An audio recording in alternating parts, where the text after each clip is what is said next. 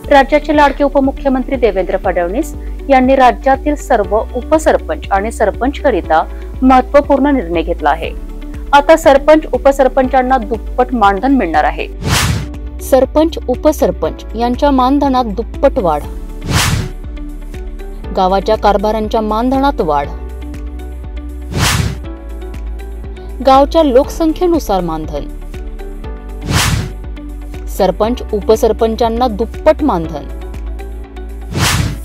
सरपंचाला दरमहा दहा हजार पर्यंत मानधन. उपसरपंचाला चार हजार पर्यंत मानधन. महाराष्ट्रातील सरपंच आणि उपसरपंच यांच्यासाठी एक मोठा आणि महत्त्वाचा निर्णय महायुती सरकारने घेतला आहे.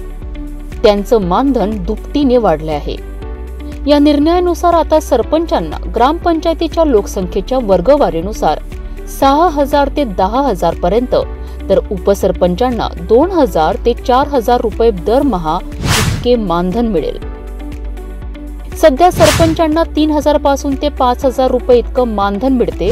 तर उपसरपंचांना दरमहा एक हजार ते दोन हजार रुपयापर्यंत मानधन मिळते महाराष्ट्रातील अठ्ठावीस हजार आठशे तेरा ग्रामपंचायतीच्या सरपंच आणि उपसरपंचांना या मानधन वाढीचा लाभ मिळेल. वेगवान निर्णय गतिमान महाराष्ट्र.